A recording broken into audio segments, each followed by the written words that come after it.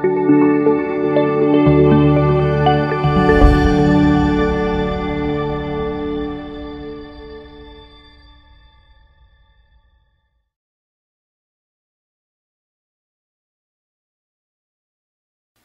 हम नया टॉपिक देखेंगे that is centre of gravity centre of gravity क्या होती है?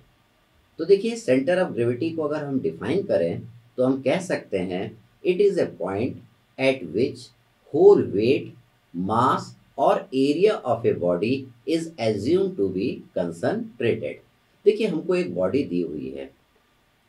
या हमारी एक बॉडी है। इस बॉडी का जो मास है that is our capital M हमको इस बॉडी की centre of gravity find out करना है। ये जो बॉडी है छोटे छोटे एलिमेंट्री मास की बनी हुई है। That is M one mass ये आपका एम टू मास ये आपका एम थ्री मास इसी तरह यहाँ पे M four mass M five mass M six mass होगा। आप सारे M one M two M three M four M five M six को ऐड कर देंगे तो टोटल मास एम के जितना आ जाएगा। इसके हर एक एलिमेंट्री मास पे एक वेट एक्ट करेगा ड्यू टू ग्रेविटेशनल फोर्स और कैसा एक्ट करेगा? वर्टिकली डाउनवर्ड ये रहेगा आपका एम वन जी इस वाले एलिमेंट्री मास पे भी एक वेट एक्ट करेगा ड्यू टू ग्रेविटेशनल फोर्स। कितना करेगा? एम टू जी इस वाले वेट, इस वाले मास पे भी एक वेट एक्ट करेगा vertically downward due to gravitational force, that is M three G इसी तरीके से M four G M five G M six G vertically downward act करेगा और ये सब मिलके क्या बनाएँगे? एक पैरेलल फोर्स सिस्टम बनाएँगे। इस पैरेलल फोर्स सिस्टम का जो भी रिजल्टेंट होगा वो जिस पॉइंट पे एक्ट करेगा that point is known as C G और सेंटर ऑफ़ ग्रेविटी तो इस पैरेलल फोर्स सिस्टम का रिजल्टेंट इस पॉइंट पे एक्ट कर रहा है तो इस पॉइंट को हम बोलेंगे सी जी और सेंटर ऑफ़ ग्रेविटी हमें क्या करना है? हमको इस सी जी का डिस्टेंस निकालना है। कहाँ से निकालना है? इस वाले एक्स वाई एक्सिस से हमको निकालना है। तो सी जी का जो डिस्टेंस है, यहाँ से ये मैंने लिया है एक्स बार हमें एक्स बार की वैल्यू निकालना है। तो अगर हमें एक्स बार निकालना है तो रेफरेंस लाइन हमें क्या लेना पड़ेगा? वाई एक्सिस हमारी रेफरेंस लाइन रहा करेगी। यहाँ पे जो एम वन मास है, इसका जो डिस्टेंस है यहाँ से this is X one M two mass का जो डिस्टेंस वाई एक्सिस से that is X two M three mass का जो डिस्टेंस वाई एक्सिस से है दैट इज़ एक्स थ्री हमें यहाँ पे एक्स बार निकालना है। एक्स बार इस सी जी का डिस्टेंस वाई एक्सिस से है। अगर हम ध्यान से देखें तो जो सी जी का डिस्टेंस वाई एक्सिस से आता है, वही इस रिजल्टेंट की भी दूरी वाई एक्सिस से आएगी। अगर हमने रिजल्टेंट की दूरी वाई एक्सिस से निकाल लिया तो सी जी का डिस्टेंस आपको वाई एक्सिस से पता चल जाएगा एक्स बार की वैल्यू आपको पता चल जाएगी।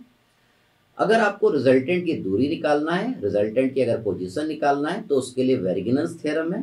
वेरिगेनेंस थ्योरम या लॉ ऑफ़ मूवमेंट कहता है the algebraic sum of the moment of all the forces about any point और line is equal to the moment of their resultant about the same point और line Varignon's theorem बोलता है कि इस resultant का moment इस line के about किसके बराबर होगा?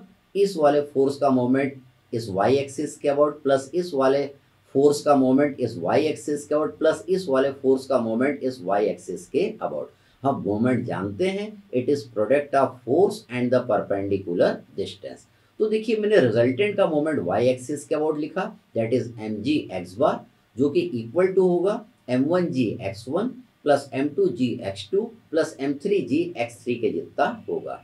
तो यहाँ पे जी आपके दोनों साइड्स के कट जाएँगे और आपको एक्स बार की वैल्यू मिल जाएगी। एक्स बार आपको मिलेगा M one X one plus M two X two plus M three X three upon capital M यहाँ पे कैपिटल एम को हम क्या लिख सकते हैं इसको हम M one plus M two plus M three लिख सकते हैं तो ऊपर हम कितना भी लिख सकते हैं M one X one plus M two X two plus M three X three plus M four X four plus M five X five divided by M one plus M two plus M three plus M four plus M five इस तरीके से हम आगे इसको लिख सकते हैं अब इसको हम और क्या लिख सकते हैं इसको हम लिख सकते हैं integration of X D M upon capital M अभी आपने क्या निकाला? आपने इस सी जी का डिस्टेंस वाई एक्सिस से निकाला।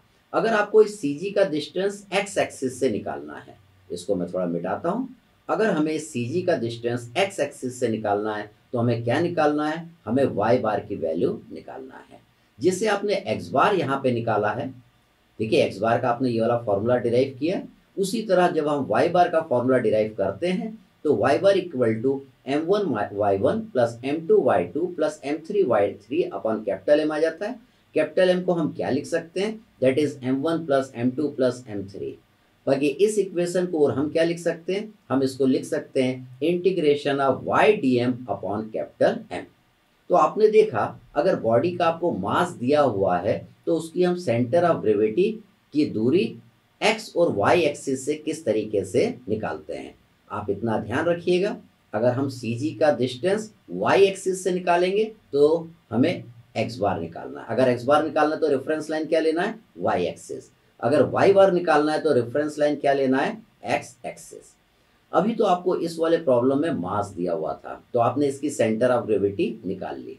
अगर आपको मास न देख के ये वॉल्यूम दे देगा तब हम सेंटर ऑफ़ ग्रेविटी के लिए ये फॉर्मूला यूज़ करेंगे। जैसा मास का था मास की जगह हमने क्या लिख दिया? वॉल्यूम लिख दिया।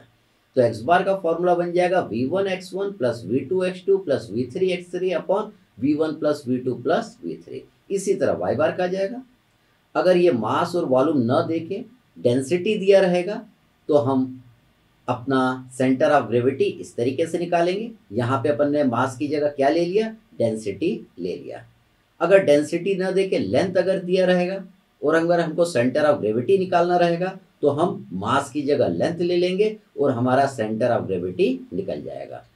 हो सकता है लेंथ न देखें फिगर में आपको उसका एरिया दे तो हम उसकी सेंटर ऑफ़ ग्रेविटी किस तरीके से निकालेंगे। अगर एरिया दिया है तो सेंटर ऑफ़ ग्रेविटी निकालने के लिए हम फॉर्मूला यूज़ करेंगे X bar is equal to A one X one plus A two X two plus A three X three upon A one plus A two plus A three इसी तरह Y बार का formula use कर लेंगे। तो जो चीज़ आपको दिया रहेगा, उसको आपको यूज़ करना है सेंटर ऑफ़ ग्रेविटी निकालने के लिए। देखिए, जब हम एरिया यूज़ एरिया का सेंटर ऑफ़ ग्रेविटी निकालते हैं एरिया की जो सेंटर ऑफ़ ग्रेविटी निकल के आती है, उसको हम बोलते हैं सेंट्रॉयड जो प्लेन फिगर रहता है प्लेन फिगर क्या रहता है? जिसका मास नहीं होता, जिसका खाली एरिया होता है। उसकी जब उसकी जब हम सेंटर ऑफ़ ग्रेविटी निकालते हैं तो उसको हम बोलते हैं centroid centroid is the geometrical centre of a given figure centroid is the geometrical centre of a given figure तो इस तरीके से हम ये फॉर्मूले का यूज़ करके हम गिवन बॉडी का सेंट्रॉयड या सेंटर ऑफ़ ग्रेविटी निकाल लेंगे। अब हम इसको एग्ज़ाम्पल से समझते हैं।